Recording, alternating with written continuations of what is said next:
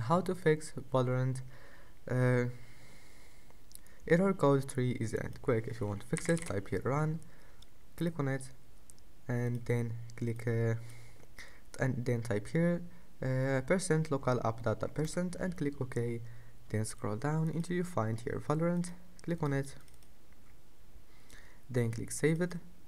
After that uh, click logs delete all those files that you will find here and click delete.